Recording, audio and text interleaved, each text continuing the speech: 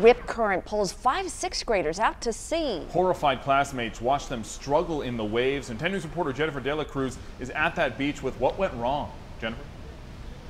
There are red flags up and down the shoreline warning people of those dangerous currents. There were sheer moments of terror as students watched their fellow classmates screaming from the water. The group of sixth graders were here taking a field trip to Imperial Beach from Charter Middle School, Central Middle School rather. Students were playing in the water when suddenly a strong current swept five of them away.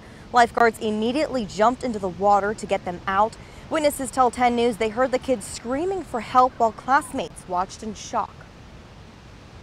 There was this little kid in the back of the truck, like his whole body was just limp, he like his head his back, head like they had this ventilator thing on him, and it was just, it was crazy to see. South Bay Union Schools released a statement to 10 News. They say they let the lifeguards know ahead of time that they were having this trip, so they had more crews and school nurses standing by.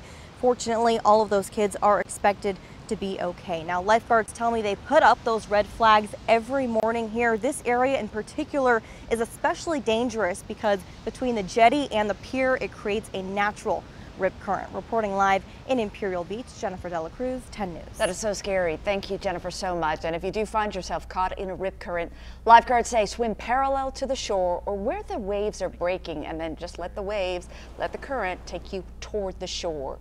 And we have more